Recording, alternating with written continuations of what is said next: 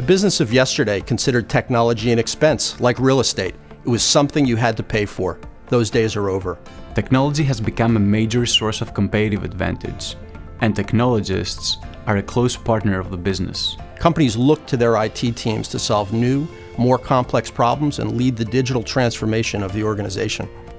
Knowing how to do this is essential wherever you see yourself in the IT landscape, from a consultant to the CIO. So what makes the Information Systems program at Stevens unique?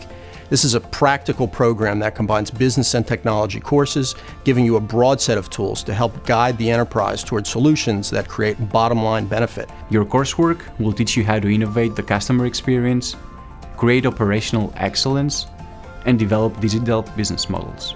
In addition to cutting edge technology content, you get a deep immersion in business concepts and IT strategy, which lets you connect the dots between technology investments and how employees get their work done.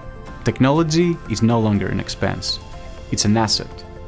And executives know they need smart technologists who can introduce tools and build strategies aligned with the needs of the enterprise.